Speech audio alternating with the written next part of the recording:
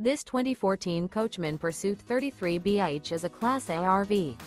It is located in North Canton, Ohio 44720 and is offered for sale by General RV Center. Click the link in the video description to visit RVUSA.com and see more photos as well as the current price.